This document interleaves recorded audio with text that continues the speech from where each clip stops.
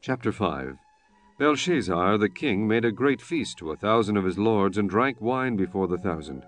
Belshazzar, whiles he tasted the wine, commanded to bring the golden and silver vessels which his father Nebuchadnezzar had taken out of the temple which was in Jerusalem, that the king and his princes, his wives, and his concubines might drink therein.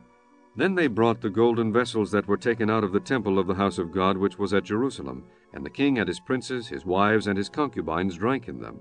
They drank wine and praised the gods of gold, and of silver, of brass, of iron, of wood, and of stone. In the same hour came forth fingers of a man's hand, and wrote over against the candlestick upon the plaster of the wall of the king's palace. And the king saw the part of the hand that wrote.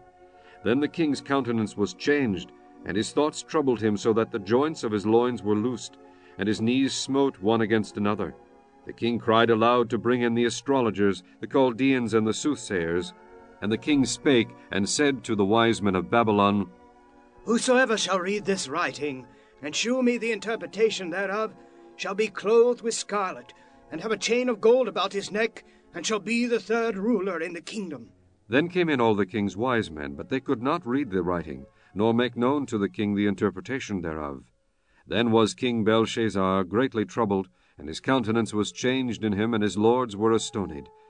Now the queen, by reason of the words of the king and his lords, came into the banquet house, and the queen spake and said, O king, live for ever, let not thy thoughts trouble thee, nor let thy countenance be changed.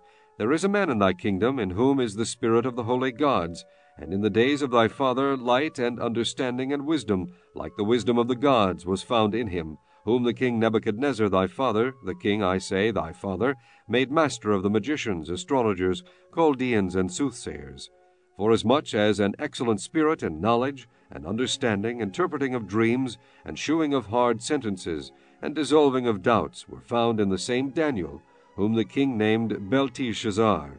Now let Daniel be called, and he will shew the interpretation.